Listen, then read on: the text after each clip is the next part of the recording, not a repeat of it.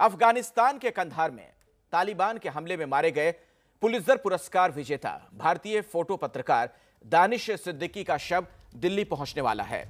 तालिबान ने अंतर्राष्ट्रीय red cross समिति को दानिश का शव सौंपा था और दानिश सिद्दीकी की शुक्रवार को कंधार में उस वक्त मौत हो गई थी। वो तब मारे गए थे जब तालिबान और अफगान सुरक्षा बलों के बीच चल रही लड़ाई को वो कवर कर रहे थे।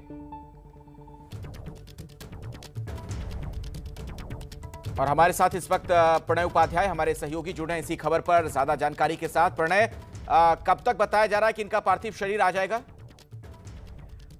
अखिलेश दानिश सिद्दीकी का पार्थिव शरीर भारत पहुँच चुका है। एयरपोर्ट से बाहर निकलने का इंतज़ार किया जा रहा है। उनका परिवार भी वहाँ मौजूद है। और ये निश्चित रूप से पत्रकारों के लिए या देखा जाए मीडिया का एक जो ऑक्यूपेशनल हजार्ड होता है, ये काम के साथ जुड़ी हुई एक चुनौती होती है।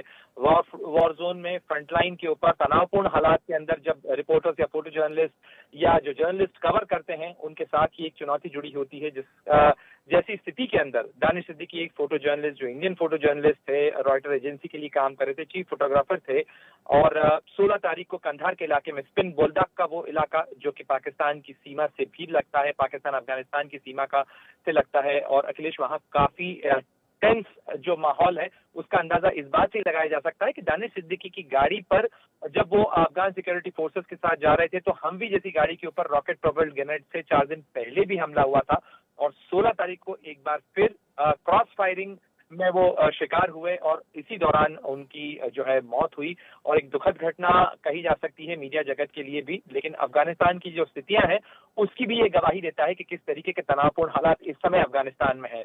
जी अखिलेश। बिल्कुल सही आप कह रहे हैं प्रणय, कि वहाँ पर हालात किस तरह से बद से बदतर हो रहे हैं, उसका अंदाज़ा लगाया जा सकता है इस घटना से भी। वैसे दानिश की बात अगर प्रणय की जाए, एक निर्भीक फ़ोटो पत्रकार अफ़गानिस्तान में तो कवर कर ही रहे थे, लेकिन और भी जगहों पर जिस तरीके से उन्होंने तस्वीरों के ज़रिए जनमानस को झकझोरा था, उसकी हमेशा तारीफ़ होगी। बिल्कुल अखिलेश खास तौर पर कोविड के समय में उनके बहुत सारे फोटोग्राफ्स जो हैं, वो इंटरनेशनली भी काफ़ी सर्कुलेट हुए। बहुत सारे तस्वीरें होती हैं और फोटोग्राफ कैमरे की नज़र से जिस तरीके का सच देख दिखता है दिखाने की कोशिश होती है आ, उसमें दानिश की कोशिश करते रहे कि वो मानवीय पक्ष जो है उसे भी ही उजागर कर सके और यही उनकी कोशिश थी। 2010 में उन्हें पुलिसर पुरस्कार भी मिला उनके फोटोग्राफ्स को और रॉयटर जैसी जो इंटरनेशनल एजेंसी है उसके चीफ फोटोग्राफर थे दानिश और कोशिश यही थी कि अफ़गानिस्तान के वॉर जोन से भी जाकर वो इस चुनौती को दिखा सकें कि किस तरीके से अफगान सिक्योरिटी फोर्सेस तालिबानी लड़ाकों के साथ में अफ़गानिस्तान को बचाने की लड़ाई लड़ रहे हैं। लेकिन अफसोस कि इस तस्वीर को दुनिया तक पहुँचाने की कोशिश में इस सच को बाहर लाने की कोशिश में दानिश को अपनी जान तक देनी पड़ी। शुक्रिया प्रणय उपाध्याय इस जानकारी के लिए आपका। दिल्ली के जामिया नगर में दानिश के घर में उनके परिवार वाले और दोस्त पार्थिव शरीर का इंतज़ार कर रहे हैं। हमारी संवाददाता मदिया खान वहाँ मौजूद हैं। एक रिपोर्ट देखिए। इस वक्त हम दानिश सिद्दीकी के घर के बाहर मौजूद हैं। जामिया स्थित उनका घर है। यहाँ पर जो उनके मिलने वाले हैं, उनके चाहने वाले हैं, उनका जमावड़ा शुरू हो गया है। काफ़ी लोग इस वक्त उनके घर के बाहर मौजूद हैं। उनके घर की सीधी तस्वीरें आपको दिखा रहे हैं। ये उनका घर है, जहाँ आपसे कुछ देर बाद उनका जो पार्थिव शरीर है, वो उनके घर पहुँच जाएगा। जिस फ़्लाइट से एयर इंडिया की फ़्लाइट से उनके पार्थिव शरीर को अफ़गानिस्तान से दिल्ली लेके आया जा रहा है, वो एयरपोर्ट पहुँच गई है और अब से कुछ देर में उनका जो पार्थिव शरीर है, वो उनके जामिया स्थित घर पर पहुँच जाएगा और इस वक्त जो उनसे के मिलने वालों का जमावड़ा है, वो यहाँ पर उनके घर आने वालों का जो सिलसिला है, वो शुरू हो गया और इस वक्त आप देख सकते हैं उनके चाहने वाले, उनके पड़ोसी, उनके दोस्त यहाँ पर पहुँचना शुरू हो गए हैं और आज रात में ही उनको सुपुर्दखा कर दिया जाएगा और इस वक्त आप तस्वीरें देख रहे हैं। कि उनके पार्थिव शरीर का इंतज़ार जो है उनके चाहने वाले किस तरीके से उनके घर के बाहर कर रहे हैं। कैमरा पर्सन निखिल रस्तोगी के साथ मध्य बीपी न्यूज़, दिल्ली। दानिश बहुत ही निर्भीक किस्म के थे। जिस तरीके की उन्होंने फ़ोटो पत्रकारिता की, फ़ोटो जर्नलिज्म, कई उन्होंने कीर्तिमान भी स्थापित किए। उनके दोस्त यार मित्र उन्हें आज कैसे याद कर रहे हैं, आपको दिखाते हैं। दानिश सिद्दीकी को आज सुपुर्द खाक किया जाएगा और इस वक्त उनके पार्थिव शरीर का इंतज़ार उनके मिलने वाले, उनके चाहने वाले, उनके घर वाले कर रहे हैं। इस वक्त हम जामिया के पास उनके घर में मौजूद हैं और घर के सामने की तस्वीरें एक बार आपको दिखा देते हैं किस तरह से उनके जो चाहने वालों का सिलसिला है। वो यहाँ पर आने जाने का सिलसिला यहाँ पर मौजूद है और यहाँ पर आप देख सकते हैं किस तरह से काफ़ी लोग इकट्ठे हैं, ना सिर्फ़ उनके पड़ोसी, उनके दोस्त बल्कि उनके जामिया से जुड़े जो लोग हैं वो भी यहाँ पर हैं, मीडिया फटर्निटी के लोग भी यहाँ पर हैं और यहाँ पर मेरे साथ उनके एक बेहद ही करीबी दोस्त बचपन के दोस्त कह सकते हैं, वो यहाँ पर हैं। बिलाल, मैं आपसे जानना चाहूँगी कि जब ये ख़बर सुनी तो कैसा महसूस हुआ? और अब दो दिन का वक्त गुजर चुका है दो तीन दिन हो चुके हैं। फैमिली बेसब्री से इंतज़ार कर रही है उनके पार्थिव शरीर का। क्या कहेंगे? किस तरह से याद कर रहे हैं इस वक्त आप? नहीं, अभी भी अभी भी सेटल इन नहीं हुआ है। वो जो एक थाट होता है कि कि आप लोगों के बीच का एक इंसान जिसको आप देखते आ रहे हैं जिसके काम को आप फॉलो करते आ रहे हैं। कई सालों से हम लोग बहुत आ, मिले नहीं हैं और क्योंकि वो इतना ट्रैवल करते थे was always on a shoot तो आ, मुलाकात फिर भी नहीं हो लेकिन उनके काम को बहुत फॉलो किया है और उनके काम में ये एक एक काफ़ी पैशन दिखता था उनके काम में भी। और जो जो स्टोरीज़ को फॉलो करते थे उसको देख के लगता था कि हाँ देखो ये एक लड़का जो हम लोगों के बीच में से निकला है वो उसका काम जो है वो पूरा रिकग्नाइज़ किया जा रहा है नेशनली और इंटरनेशनली भी रिकगनाइज़ किया जा रहा है। तो in a way we were all very proud of him हम एक तरह से पूरी आबादी में यहाँ मैं भी यहाँ पला बड़ा हूँ यहीं मैंने भी ग्रो अप किया है। सो so, हम लोगों के लिए एक्चुअली हम लोग काफ़ी प्राउड फील करते थे कि हम लोगों के बीच में से एक इंसान एक इंटरनेशनल फेम का उस स्टैंडर्ड का काम कर रहा है। तो बहुत प्राउड भी होते थे और उतना ही ज़्यादा अभी दुख भी है कि इस इस मोमेंट में अब सब इंतज़ार कर रहे हैं। दुख से ज़्यादा अब शायद कल या परसों में दुख का शायद फीलिंग ज़्यादा हो लेकिन आज अभी भी थोड़ा एंगजाइटी है। काफ़ी मुश्किल थी ये समझना कि किस तरह से बॉडी आएगी। पिछले दो दिन से आ, जो सिद्दीकी फैमिली है वो लगातार एम से टच में है। एम के ऑफिशल्स भी लगातार फ़ोन पे हम लोगों को अपडेट्स देते आ रहे थे कि अब यहाँ ये ये स्टेप्स हो गई हैं। जब फैमिली हैंड ओवर किया गया था रेड क्रॉस को तो अपडेट हमें मिली तो थोड़ा रिलीफ मिला कि चलो एटलीस्ट फैमिली बॉडी को देख पाएगी। फिर ये खबर मिली कि उसको इंडिया फ्लाई आउट किया जाएगा और अभी आ, आ, हम लोग उम्मीद कर रहे हैं कि जल्द यहाँ पे लेके आ पाएँ वो उसकी बॉडी को और फिर फाइनली जो भी आज के हमारे लास्ट रिचुअल्स होंगे वो हम अच्छे से परफॉर्म कर पाएँ। हमसे बात करने के लिए तो यहाँ पर जो उनके पार्थिव शरीर है उसका इंतज़ार जो उनके घर वाले हैं उनके चाहने वाले हैं वो कर रहे हैं। घर की तस्वीरें घर के बाहर की इस वक्त आपको हम दिखा रहे हैं। यहाँ पर जो उनके चाहने वालों के आने जाने का सिलसिला है वो तो लगातार ही रहा है, लेकिन आप सुपुर्द खाक करने की तैयारियाँ भी शुरू हो गई हैं और आज ही उनको सुपुर्द खाक जामिया कब्रिस्तान में कर दिया जाएगा। कैमरा पर्सन निखिल रस्तोगी के साथ मदीहा खान एबीपी न्यूज़ दिल्ली। दानिश अपने फ़र्ज़ को निभाते हुए इस दुनिया को अलविदा कह गए, लेकिन उन्होंने अपने काम से पत्रकारिता जगत में विशेष छाप छोड़ी है। आप देखिए दानिश सिद्दीकी की खींची गई कुछ खास तस्वीरें। As a photojournalist, I have the privilege to witness humanity at its best and at its worst, and everything in between. My role is, is as a mirror, and I want to expose you to the raw truth and make you a witness to it. You can look away or stand up and act for change.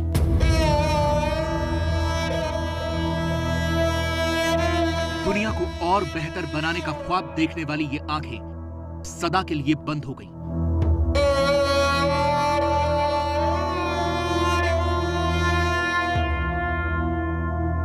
कैमरे से दुनिया की हर खुशी और गम से आपका रिश्ता जोड़ने वाले इंसान ने आज दुनिया से रिश्ता छोड़ दिया।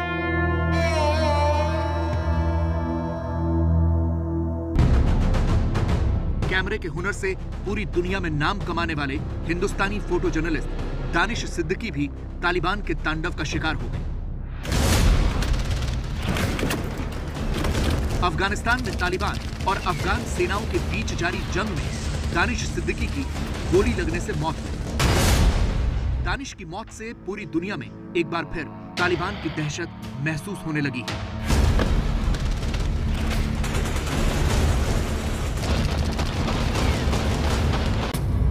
दानिश की मौत कंधार के स्पिन बोल्दक इलाके में हुई। वो मशहूर न्यूज़ एजेंसी रॉयटर्स की तरफ़ से तालिबान की जंग को कवर कर रहे थे। दानिश पिछले हफ़्ते ही अफ़गानिस्तान पहुँचे थे और अफगान सेना के साथ रहकर युद्ध को कवर कर रहे थे। तालिबान और अफगान सेना की जंग के बीच उन्हें गोली लगी, जिस वक्त दानिश को गोली लगी, वो एक दुकानदार से बात कर रहे थे। इससे पहले मंगलवार को भी दानिश की गाड़ी पर ग्रेनेड से हमला हुआ था।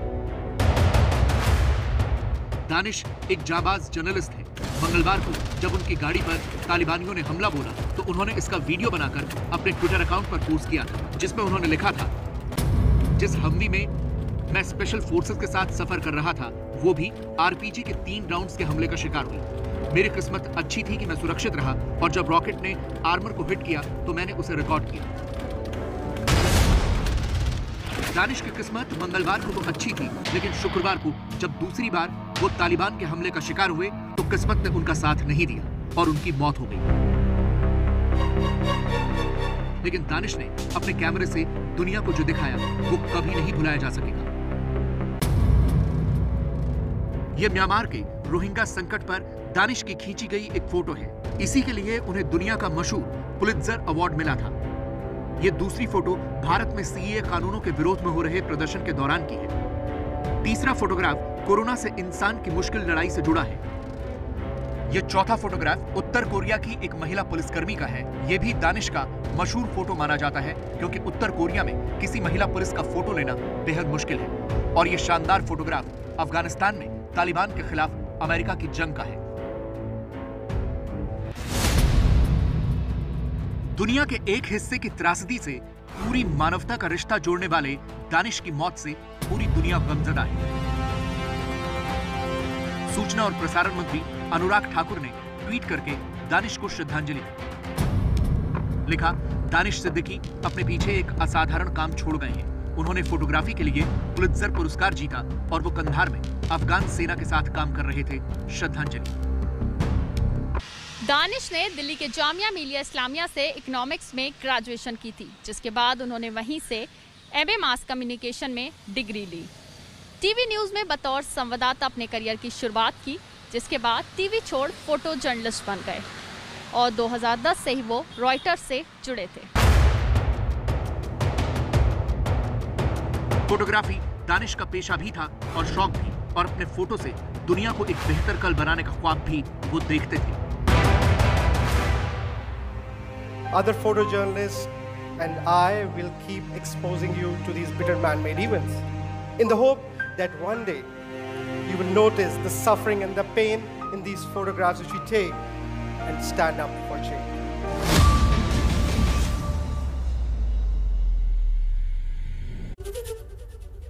दानिश सिद्दीकी की हत्या से हर कोई हथपब है जिस तरीके की निर्भीक पत्रकारिता वो किया करते थे, अपने कैमरे के ज़रिए, जिस तरीके के जनता के दुख दर्द को उन्होंने सामने लाने का काम किया था, उसकी बहुत तारीफ़ की जाती थी अफ़गानिस्तान में किस तरीके के हालात हो चुके हैं उसका अंदाज़ा आप लगा सकते हैं। और तालिबान का कहर वहाँ पर लगातार जारी है। तो रॉयटर्स के फ़ोटो पत्रकार दानिश सिद्दीकी का यूँ जाना हर किसी को गमजदा कर गया है। मायावती के उस बयान से जब आज उन्होंने एक बार फिर ब्राह्मणों से बीएसपी की ओर मुड़ने की अपील की 2007 में ब्राह्मणों के बल पर बीएसपी ने बहुमत की सरकार बनाई थी। बीजेपी को भी आजमा लिया, कितना आजमाओगे? अब इनको तिलांजलि देनी चाहिए और बीजेपी के बहकावे में ना आकर तो सन 2007 की तरह बीएसपी से इनको जुड़ना चाहिए। तो 15 साल बाद मायावती ने एक बार फिर यूपी की सत्ता हासिल करने के लिए 2007 वाला सोशल इंजीनियरिंग का फॉर्मूला निकाला। है एक बार फिर मायावती की नज़र बीएसपी के वोट बैंक दलितों के साथ, ब्राह्मणों के गठजोड़ पर है।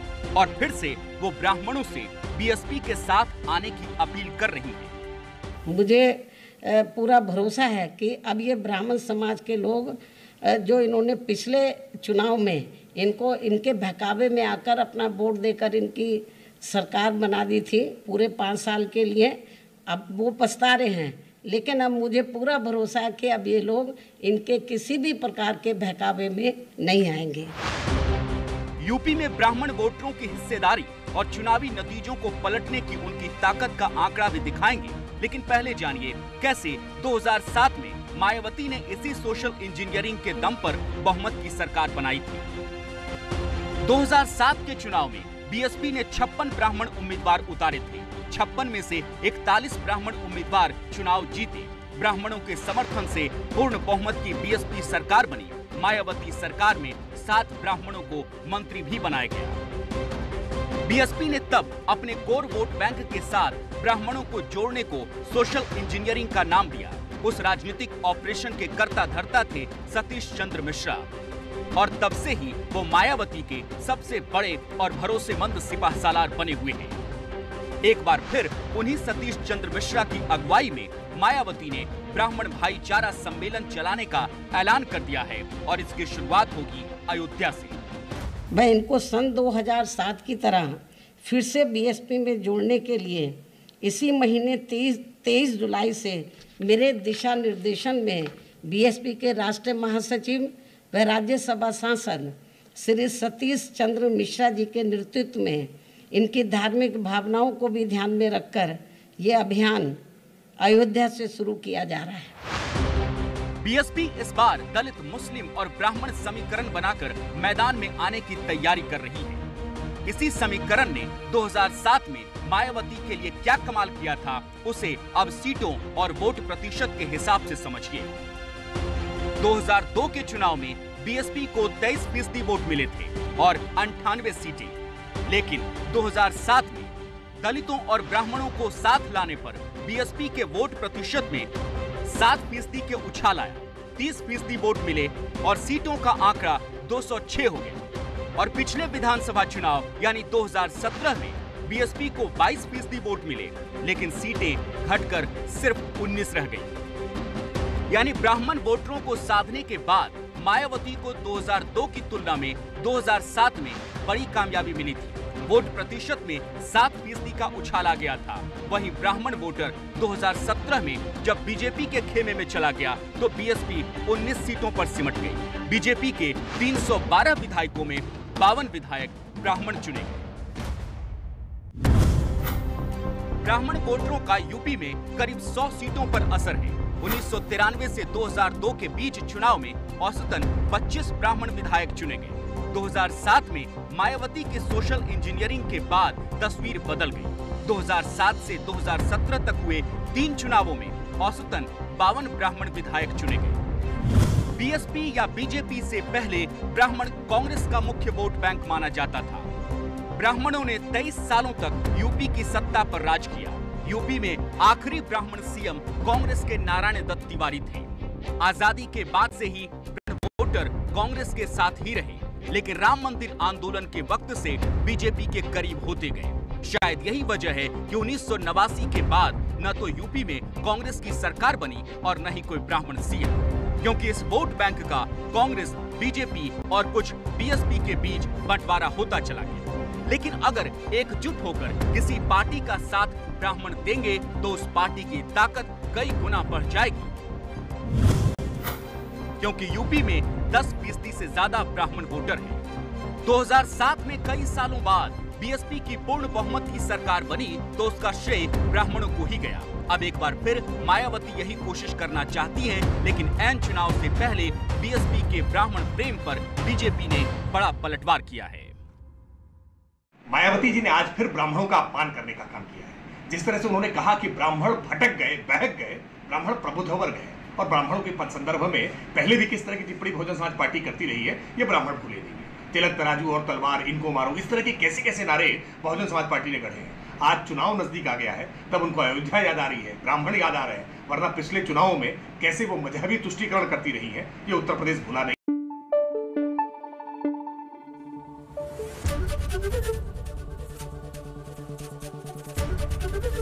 एबीपी न्यूज़ आपको रखे आगे।